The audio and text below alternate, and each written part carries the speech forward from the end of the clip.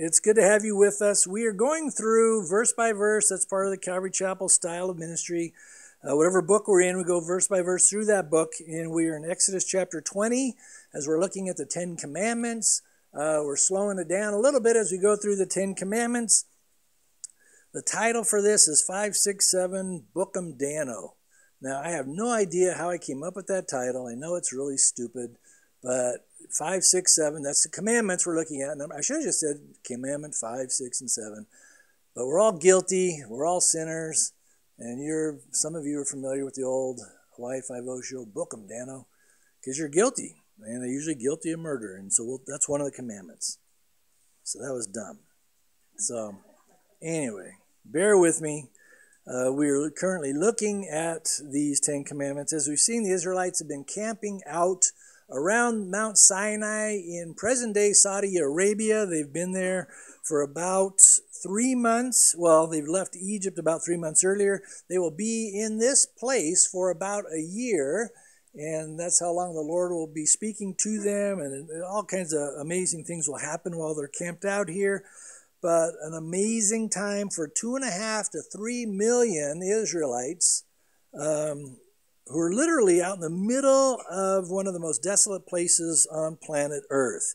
There's no natural resources there, there's no water, there's no food, um, but God alone. He would sustain them, He would protect them, He would provide for them.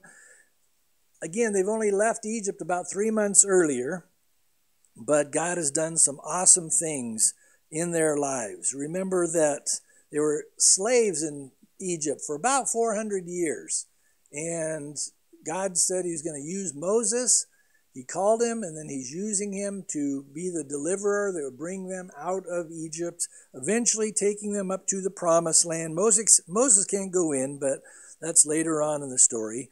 But God alone would just do everything for the Jewish people. He told Moses, Stand before Pharaoh and demand to let my people go so they could go out in the wilderness and worship the Lord. But Pharaoh refused. He said, No way. So God poured out 10 horrible plagues upon Egypt and the people. And it wasn't until the 10th plague, the death of the firstborn throughout all of Egypt, of animals and people, that he finally said, Okay, get out of here. And so they leave. But even as they leave, then they get cornered, the Lord led them to the edge of the Red Sea where they're boxed in. And even then, it was God's going to be at work because Pharaoh hardened his heart again, says, I'm going to slaughter. That's nothing new. I'm going to slaughter the Jewish people. And so he's going after them, wants to kill them all, but then God parts the Red Sea. The Jewish people walk on dry land across the Red Sea. God closes the water down upon the Egyptian army. All of them, it says, are drowned in the depths of the sea. But again, the Israelites, they're out in the middle of nowhere, no food, no water, no shelter from the desert sun, but God. And that could be the subtitle for this message, probably a better title, but God, because God is going to do amazing things in their lives. He would protect them with the pillar of fire by night, the pillar of cloud by day. He would feed them the original Wonder Bread, manna from heaven, or angel food cake, take your pick. But every morning, God provided them with manna. When they were thirsty, God told Moses, Strike the rock, and he struck it once, and water started gushing forth from that rock. And even where they're uh, camped out, that water would flow right past them. Uh, Paul says that rock is Christ, and so the Lord was present with them. They're at Mount Sinai. This is the mountain that God would descend upon and where Moses would meet the Lord. And as we saw last time, when God came down upon Mount Sinai, there was thunder, there was lightning, there, there was fire, there was smoke. It says the mountain shook and trembled. And with a loud voice that all could hear, God begins to give them the Ten Commandments. And the first thing that we saw he telling he told them was, I am the Lord your God, verse 2, who brought you out of the land of Egypt, out of the house of bondage. So even before any of the commandments, he reminds them, I am the Lord your God. I'm doing this for you. I'm your God, and you will listen up. I'm going to give you these commandments, and this was to be a blessing to the Jewish people and to all the world. But he says, You shall have no other gods before me. Now we saw that the first four commandments um, are all about our relationship with the Lord. And the next six that we'll start looking at this morning are all about our relationship with other people. Jesus summed up the entire law by saying to that Pharisee who asked Jesus, Teacher, what is the great commandment in the law?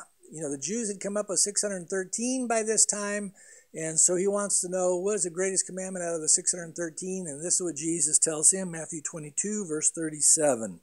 Jesus said to him, You shall love the Lord your God with all your heart, with all your soul, with all your mind. This is the first and great commandment. And the second is like it you shall love your neighbor as yourself. On these two commandments hang all the law and the prophets. And so, again, these next six that we look at is all about loving others. But most of us should know by now that if our relationship with the Lord isn't where it needs to be, if our relationship with Jesus isn't priority number one, then these next six will be impossible to fulfill or keep. Because if our relationship with others is first, then our relationship with God isn't where it needs to be. He needs to be first and foremost. And then the rest of these things will make sense. They'll fall into line, and then we can be obedient to the Lord and walk the way He wants us to walk. So that brings us to commandment number five. Look at verse 12. Exodus chapter 20, verse 12. Honor your father and your mother that your days may be long upon the land which the Lord your God is giving you. So take note of that. A relationship with other people begins in our homes. It starts with those we live with, it starts with those who know us best, it starts with those who know us at our worst. Now, isn't it true that it's easier being a Christian when we're hanging around other Christians, especially at church? hey, it's pretty easy, you know, to be with other Christians for an hour, hour and a half. You can smile, you can say, hey, everything's good, you know, and you can be patient, you can be kind, you can hold out for about an hour and an hour and a half. But do you know who I would love to meet? The family that has never in their life been in an argument on their way to church. That would be amazing. I mean, think how stressful it can be to young families trying to get their little ones ready to go to church. I mean, I can remember when our daughters were little, and, you know, before I was a pastor, I better say that first, um, we're trying our hardest to get to church on time, and then, you know, Bethany would have a blowout or something. You can Bethany actually thought that was funny, first service. She was here uh, Christina would lose a shoe or something. And, you know, I'd be all frustrated and I'd be like, come on, good grief, hurry up. We got to get to church so we can worship God. You know, and you're all stressed. And yet, the family structure is the first commandment dealing with loving others, as we see here. It makes a lot of sense because the family unit is really the heart of any community, it's the heart of any society. This also is a reason why Satan is constantly attacking the God ordained structure of what a healthy family is. But if you want a good culture, if you want a good society, it starts within the home. Honor your father and your mother. Sounds pretty simple, it seems so basic, but young children need to obey their parents. And as they get older, they need to honor or respect their parents. That means to revere your parents. Again, marriage and the family, it's a divine institution that was created by the Lord. He's the one who has defined marriage, not culture. He's the one who defines family, not the culture around us. He's the one we should always be looking to for guidance and strength and love and patience as it pertains to our families. God has given us the greatest instruction manual there is for family and marriage, and that's His Word. Period. Don't go outside the bounds of God's Word. If anything you read contradicts God's Word, don't listen to it. Now, when you think of the ways that God reveals His nature and His character to us, we see that Jesus is the ultimate groom. We are His bride. And so we can learn a lot about a husband wife relationship based on our relationship with Jesus. God the Father is the ultimate Father. We can learn a lot about how we are to deal with our children because God is the perfect Father. Ephesians 5:24 Paul says, "Husbands, love your wives just as Christ also loved the church and gave himself for her." That's impossible on your own. We need the Holy Spirit to be able to love our wife. Wives, love your, your husband just as Christ loves you. That means in exactly the same way Jesus loves you, that's how we're to love our spouse. I can't on my own. That's why I need the Holy Spirit working in me and through me. It's, it's so basic, it's so necessary. So think of all the ways that Jesus sacrificially gave himself for you and me. Again, what love, what grace, what patience, what compassion, what mercy he has shown us. And then think of all the ways our Heavenly Father has blessed us, how he's encouraged us, how he has protected us, how he's provided for us, how he comforts us in our time of trial, our struggles, our troubles. Also, as our Heavenly Father, there have been times when the Lord needs to discipline us.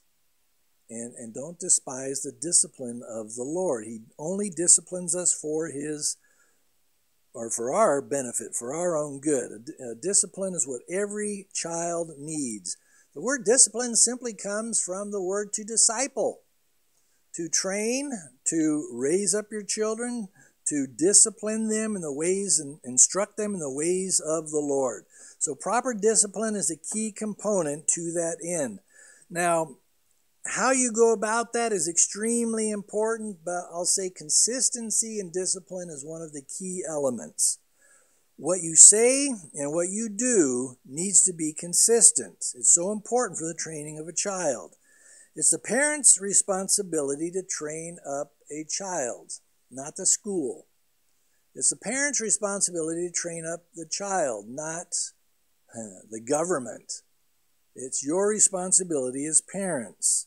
One of the keys is to avoid the extremes. In other words, not every action requires a spanking. Sometimes they just need to be told what is right and wrong. Children need to be encouraged when they do what is right. Some of us never had any encouragement growing up. Anything we did, it was always pointed out what we did wrong, but nothing about what was right. But we are never, ever to beat a child. Again, I'm glad God doesn't beat me every time I do something stupid or I say something wrong. I've made a bad decision. But the other extreme is to let children do whatever they want to do. That's not good either. They get away with any kind of behavior. Parents often ignore what their kids are doing. That doesn't do the child or anyone else any good. All you're doing is creating a little anarchist where they're doing what's right in their own eyes. And that's why Israel got in trouble so often in the book of Judges, and it repeats it over and over again. Everyone did what's right in their own eyes. And so God would discipline them. They would come under captivity. He'd raise up a judge. They'd be set free for a while. Then they'd start doing what's right in their own eyes. Again, consistency is so important. I've been around too many parents, and they'll tell their children, no. And if you do that again, you're in trouble. Two minutes later, no. And if you do that again, and you're in trouble. No. If you do it, and they'll say it like five or six times. And I'm thinking, I'll do it. You know, let me at him. I mean, sometimes you just want to lay into that kid. But you know what? If you don't follow through, you're just creating a little anarchist. It obviously sends the wrong message, and you're simply training them to think there's no consequences to my behavior. You know, there's always got to be consequences to our behavior, whether it's good or bad. This is what Hebrews 12, verses 5 and 6 says. And you have forgotten the exhortation which speaks to you as to sons. My son, do not despise the chastening, that's discipline, of the Lord, nor be discouraged when you are rebuked by him. For whom the Lord loves, he chastens, and scourges every son whom he receives. And so I love the fact that God disciplines me because I know He loves me and He only wants what's best for me. And when your children understand that, it makes it a whole lot easier. Hebrews 12, verse 11 says, Now no chastening seems to be joyful for the present, but painful. Nevertheless, afterward it yields a peaceable fruit of righteousness to those who have been trained by it. Many of us grew up with parents that failed greatly in their roles, and so it was hard to honor them. My parents were terrible. I mean, there's no other way to say it. They were just terrible parents. They had no clue how to raise me or my sisters, and I didn't honor them. I certainly didn't respect them at all until I got saved. And then when I got saved, the Lord changed my heart. Instead of being bitter and angry toward them, then I started to pray for them. I started to show the love of Jesus to them. And it wasn't until my mom was like 71, she lived the last 17 years of her life knowing Jesus. She got saved at 71. We got to lead her to the Lord, and the last 17 years of her life was great. She kept growing in the Lord. She, she just loved being here at church. She loved just knowing Jesus, and so she had 17 wonderful years. But if I contained or maintained that heart of bitterness because of what they did and how they raised us, there wouldn't have been any hope. You know, and some of you need to let it go. You know, your parents may have been royal jerks. Let it go. Pray for them if they're still alive. If they're not, let it go anyway. It's not doing you any good. It just eats away at your heart if you hold bitterness and anger towards your parents. By the way, notice that this is the only commandment that comes with this promise honor your father and mother, that your days may be long upon the land which the Lord your God is giving you. Now, God wants to bless his children. He has blessed us beyond anything that we deserve.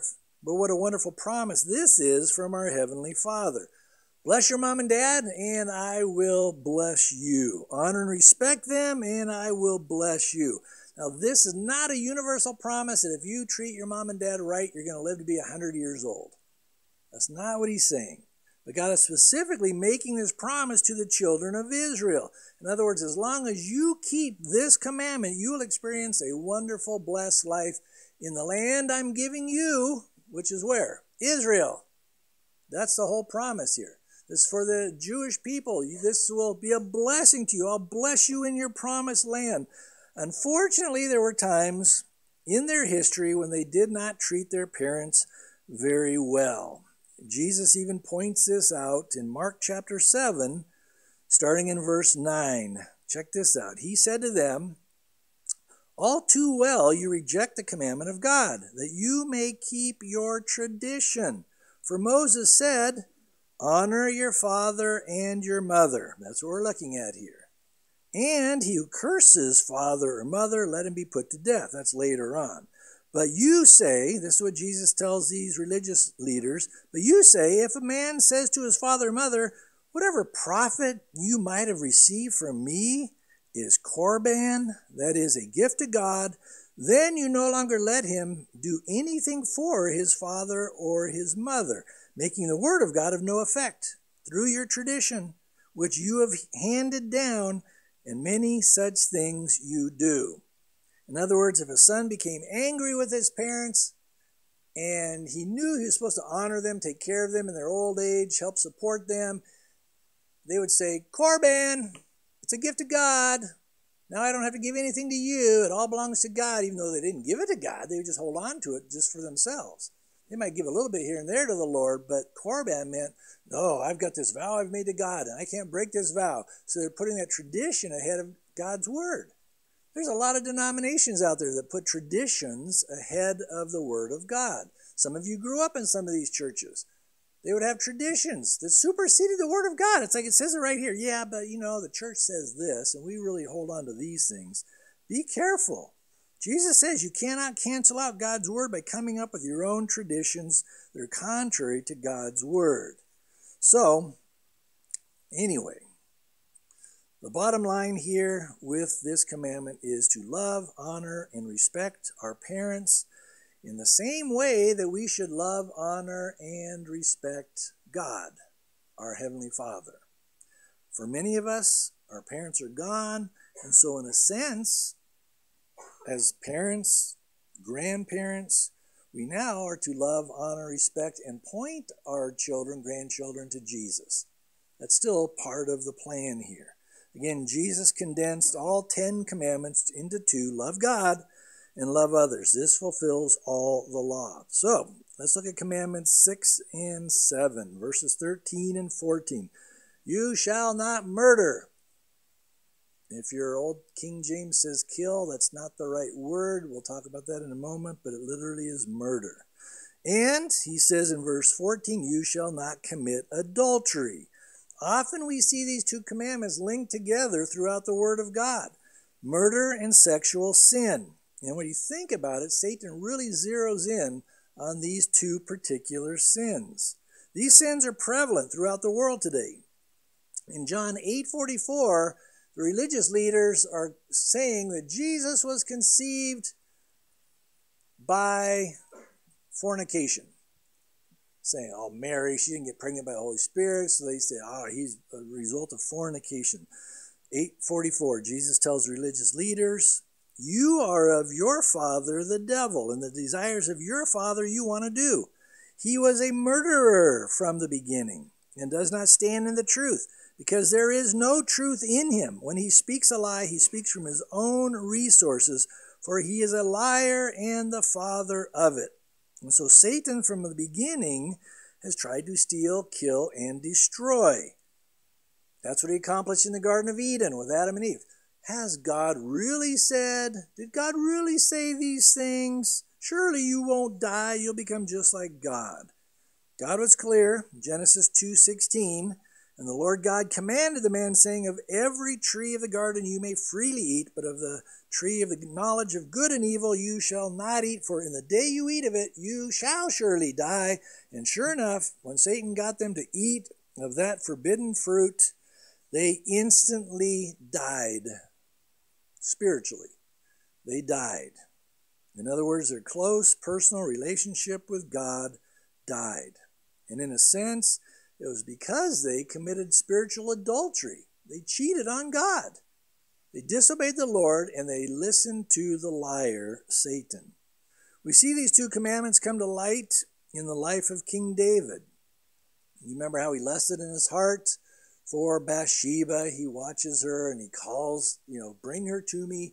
He commits adultery, gets her pregnant, and she's married to this honorable guy named Uriah. And so David says, Oh man, I got to cover this up. So he puts Uriah on the front lines and he tells the commander, All right, when the battle starts, pull away from him. And so Uriah was killed, struck down by arrows. So he committed murder, premeditated murder. And so he thought he got away with it for about a year until prophet, the prophet Nathan shows up and he confronts David and proclaims, You are the man. And as a result, we have Psalm 32 and Psalm 51. Great Psalms because those are David's Psalms of repentance. And we'll talk more about that in a moment. So these two commandments that are often linked together are a huge problem in the world today. Violence, sexual sin, they are exalted all over all over the world today. Even Jesus compared the last days to the days of Noah. And how is the days of Noah characterized? Well, this is right before God destroyed the world with a flood. We see that sexual immorality was rampant. It says the sons of God took the daughters of men, had children by them, which was not a good thing. And then a couple verses later, it talks about the earth was corrupt and filled with violence. So, sexual sin, violence, murder, it was all there at the, the time of Noah's flood. So, with commandment number six, God simply says here, You shall not murder. In chapter 21, God will go into more specifics on what killing and murder and justifiable killing and manslaughter and accidentally killing somebody. He'll go into detail and break this down. Murder, the word he uses here means premeditated murder. You're thinking about how am I going to kill this person? In fact, the first law that God established with Noah after the flood is found in Genesis 9. Look at these verses starting in verse 5. It's taking an innocent life intentionally. Surely for your lifeblood I will demand a reckoning. From the hand of every beast I will require it. From the hand of man, from the hand of every man's brother I will require the life of man. Whoever sheds man's blood by man, his blood shall be shed. For, here's the reason why, for in the image of God, he made man. And so capital punishment was set up as a deterrent to, you know, to another human being killing a human being. Why? Because only mankind is created in the image and likeness of God. And as murder destroys an image bearer of God, it is a direct assault to God Himself. Think about that. Premeditated murder is a direct assault to God Himself because we are all, every human being is an image bearer of God. This is why God hates abortion. He despises abortion. Abortion is premeditated murder. It's very clear in the scriptures. Life begins in the womb. It's a direct attack on the Lord Himself because that unborn child is created in the image and likeness of God. Check out these verses. You're familiar with these Isaiah 49, verse 5. And now the Lord says, Who formed me from the womb to be His servant, to bring Jacob back to him, so that Israel is gathered to him. For I shall be glorious in the eyes of the Lord, and my God shall be my strength. So the Lord formed us in the womb. Then there's Jeremiah 1 5. Before I formed you in the womb, I knew you. Before you were born, I sanctified you. I ordained you a prophet to the nations. And then one more. David says in Psalm 139, starting in verse 13, For you formed my inward parts, you covered me in my mother's womb. I will praise you, for I am fearfully and wonderfully made. Marvelous are your works, and that my soul knows very well. My frame was not hidden from you when I was made in secret and skillfully wrought in the lowest parts of the earth. Verse 16 says, Your eyes shall uh, your eyes saw my substance being yet unformed, and in your book they all were written, the days fashioned for me, when as yet there were none of them. So God is very clear when He created us in our mother's womb. Now, some people have a problem with God killing others in the Bible. He will tell Joshua when they come into the promised land, you are to kill, and he mentions all these different termites and parasites the Hittites, the Canaanites, the Jebusites, why? Because they had had 400 years to repent, and yet they got worse and worse and worse. The things they did to other people and to their own people was brutal beyond anything we could imagine. I mean, they would torture children. They would lock up children in walls as they're building a house. They put their firstborn in there to keep the evil spirits away. They were just wicked beyond anybody's imagination, and God did not want them like a rabid dog. If there's a dog fully enveloped with rabies and he was getting ready to attack your child, what would you do? Oh, nice little puppy. No, you would go after that dog, you'd put it down. If it kills, if, if it doesn't, you know, if you don't put it down, it's going to kill your child, or it could, depending on where you're living. So that's the way God treats these enemies of Israel. If God is against murder, though, then how can you justify killing someone? There are different Hebrew words for murder and killing. And this is why I said when it says in the Bible, thou shalt not murder, he's using a Hebrew word, ratzah, R A T Z A H, and it means premeditated murder. Now, when he talks about killing those, sort of in retaliation, he uses a different word, harag, H A R A G. That's justifiable killing primarily against those who premeditate and murder. That's the difference. A perfect example of this is what we're seeing right now in Israel. When 1,400 innocent Jewish people were murdered by Hamas on October 7th, that was Ratzah, premeditated murder. They've even found plans going back a year ago detailing how they're going to break through, what they're going to do to the people, and it was brutal beyond anything we can imagine. Disgusting acts of violence against men, women, and children. But what Israel has been doing is harag, justifiably killing those who are trying to wipe out image bearers of God. Can you see the difference?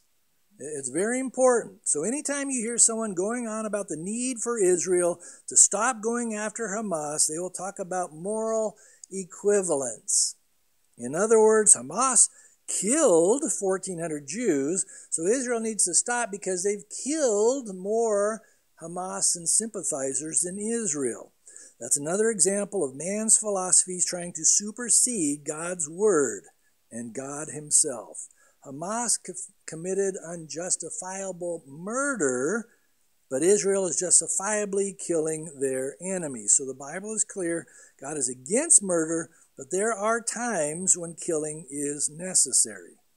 Again, God's word will go into a lot more specifics as he expounds on these things later on in the book of Exodus. What about in the New Testament? Well, the Apostle Paul, when he was arrested in uh, Acts chapter 25, uh, it's in verse 11. It's not on the screen, but he says, If I've done anything deserving of death, I do not object to dying. Paul says, Yeah, there are people that need to be put to death because they did something wrong. They murdered somebody. Paul says, Hey, I'm not against the death penalty. If I've done something deserving of death, I'm not objecting to being put to death. Now, don't forget the standard for God's law is perfection. And the more you study God's law, the more you realize that you and I are not perfect. And so, built into the law of God is an understanding I need a Savior, I need a substitute, I, I need somebody to stand in the gap. I, I'm going to need grace. I'm going to need mercy. I'm going to need someone to fulfill the requirements of all the sacrifices on my behalf. And as most of you know, that someone is Jesus. Jesus alone was sinless. Only Jesus lived a perfect life. Only Jesus fulfilled every single requirement of the law. Only Jesus fulfilled every single requirement of the sacrificial system of the law. So only Jesus could become the perfect sacrificial Lamb of God who could take away the sin of the world. So the price that was paid for your sins, my sins, was his perfect, spotless blood. There's no other way to be saved. You must be cleansed by the blood of Jesus. Now, again, we'll see a lot more details about this commandment as we go through Exodus. But thou shalt not murder, premeditatedly kill somebody. Look at verse 14. Real briefly, it says, You shall not commit adultery. A uh, simple definition of adultery is having sex with someone other than your spouse. This commandment by God was intended to protect the sacredness, the holiness of marriage, the marriage relationship that God established. God created it. It was the first institution that he started with Adam, with Eve in the Garden of Eden. Genesis 2:24. It says, Therefore a man shall leave his father and mother and be joined to his wife, they shall become one flesh. And that oneness that is established by God, it's a holy, sacred covenant that a man and woman enter into and sadly, adultery rips at the very heart of marriage. It does tremendous damage to the other spouse, and I've been, you know, involved in too many situations over the years where I've seen the damage it can do to one or both spouses. Once again, but God.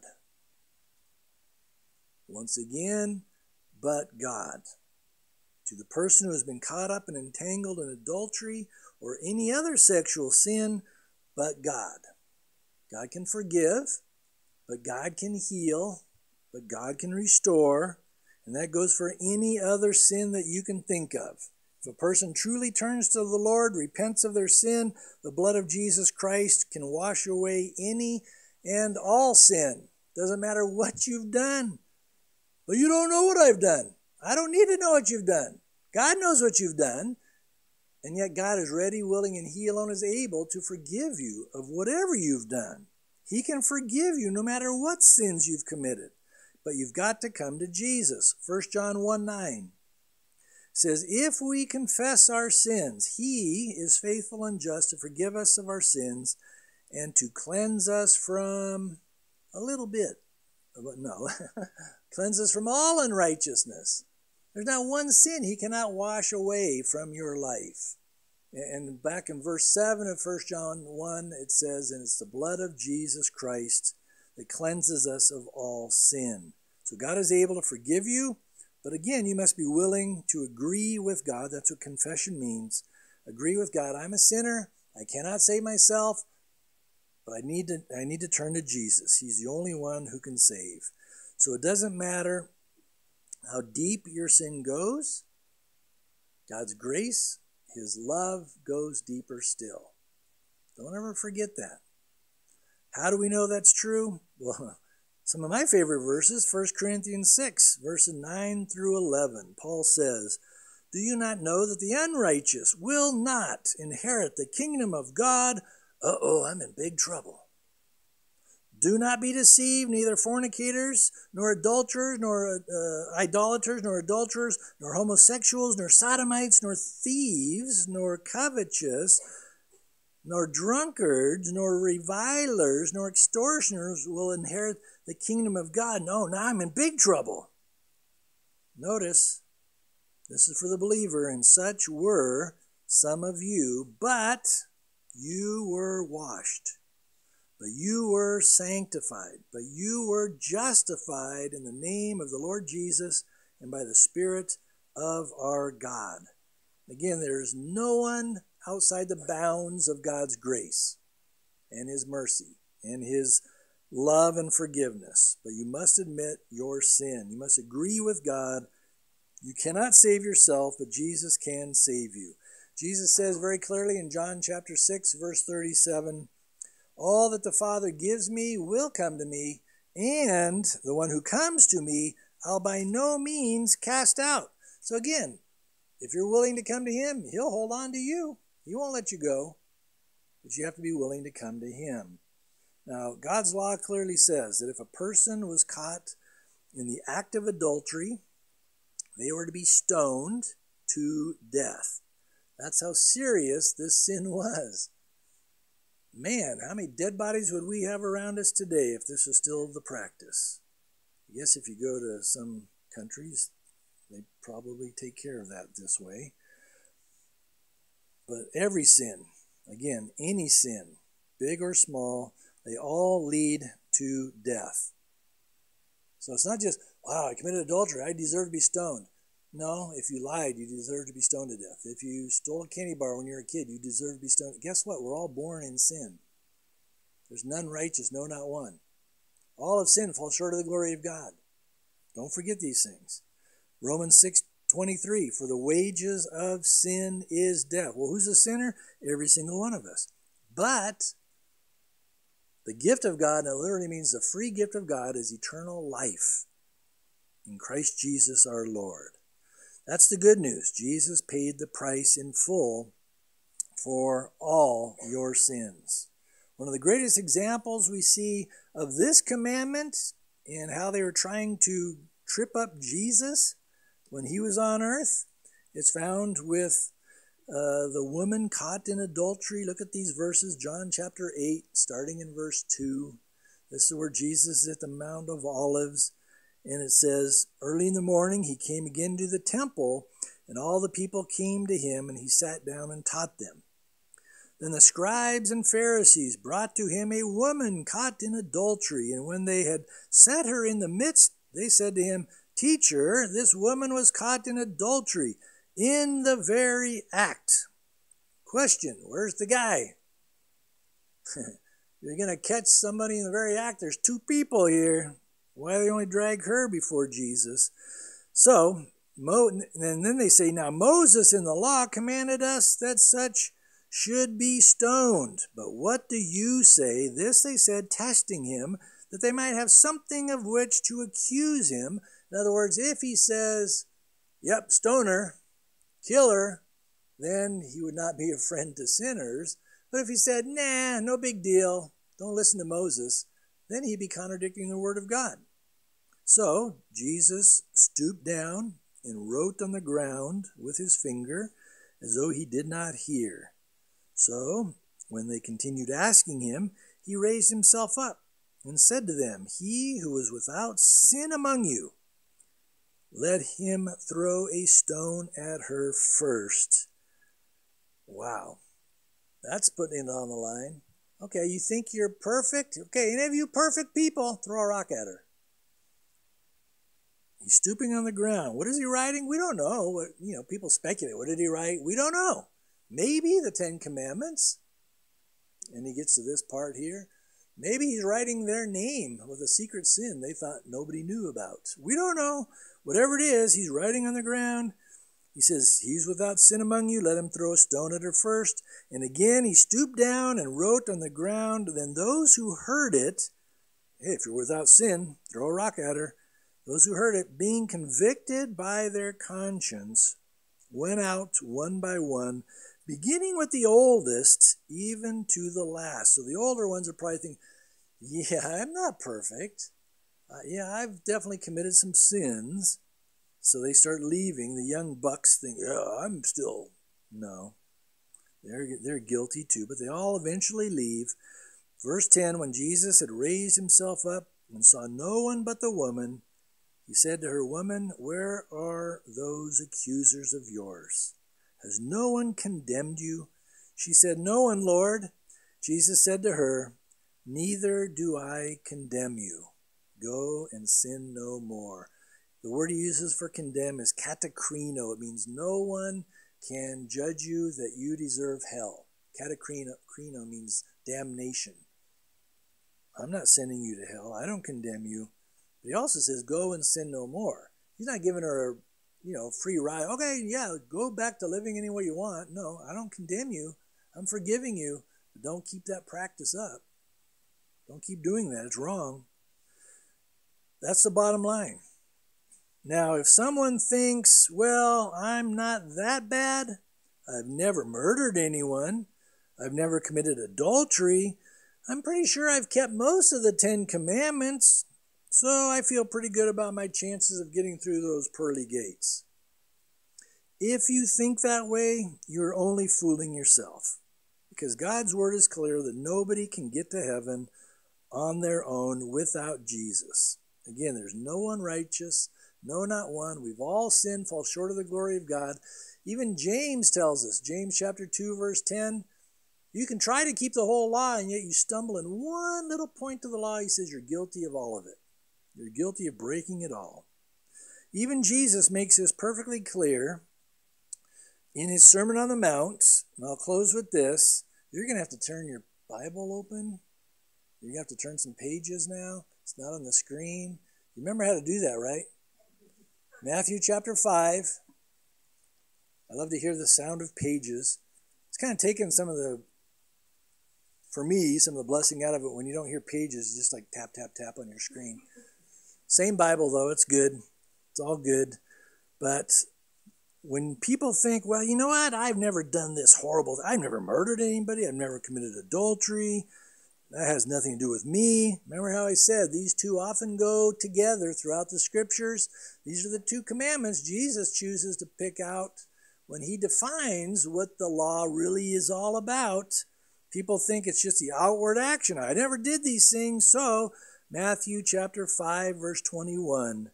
Jesus says, "You have heard that it was said to those of old, you shall not murder, and whoever murders will be in danger of the judgment. But I say to you, so now he defines this is the real meaning behind commandment number 6. I say to you that whoever is angry with his brother without a cause shall be in danger of the judgment. And whoever says to his brother, Raca, shall be in danger of the council. But whoever says, You fool, shall be in danger of hell fire. So he's saying, even if that anger is in your heart, you haven't killed anybody, but the anger's still there. That's where murder begins in the heart. That's where adultery begins. It all begins in our hearts. But it's in there, so we're all guilty of sin. So look at verse 27, Matthew chapter 5, verse 27. Jesus says, You have heard that it was said to those of old, You shall not commit adultery. Again, commandment number seven. But I say to you, that whoever looks at a woman to lust for her has already committed adultery with her in his heart. Again, the point is, we're all guilty. If you're right, and you can try this at home if you want. If your right eye causes you to sin, pluck it out, cast it from you. For it is more profitable for you that one of your members perish than for your whole body to be cast into hell. And if your right hand cause you to sin, cut it off and cast it from you. For it is more profitable for you that one of your members perish than for your whole body to be cast into hell. And uh, the point is, if you think, okay, my eyes cause me problems, I'll pluck it out. Oh, I got another eye. That's causing me. I'll pluck that out. Oh, man. Better cut off this hand. Better cut off that hand. Foot. Where do you stop? I'd be a stump. I'm pretty sure most of us in here be stumps if we think that's going to make us righteous, cutting off our body parts. No. It's having the Lord do surgery on our hearts, cutting out the wickedness of our hearts and filling us with His Holy Spirit. Because what's in the heart comes out of our mouth, and that's when we can speak blessings to those around us and not be angry and bitter and all those type of things. So here's the mind blower of Matthew 5. Look at verse 48. We'll close here. This is how we know what Jesus is referring to. The last verse of chapter 5 Therefore you shall be perfect, just as your Father in heaven is perfect. Anybody want to raise their hand to say, Yeah, I'm perfect, just like God. I'm perfect like God is? Nobody. We can't. That's his whole point. But that's why he came to die for you, to die for me, to shed his blood for our sins, to go to the cross and pay the price in full that we deserve because we've all sinned and rebelled against God. Jesus hanging on the cross, crying out, My God, my God, why have you forsaken me? The Father is pouring out his wrath, his judgment for sin upon Jesus as he hung on the cross. That's why it tells us in 2 Corinthians 5:21, God made him Jesus who knew no sin to be sin for us, that we might become the righteousness of God in him. Jesus paid the price in full, took all the wrath and judgment I deserve for my sins, he took it upon himself.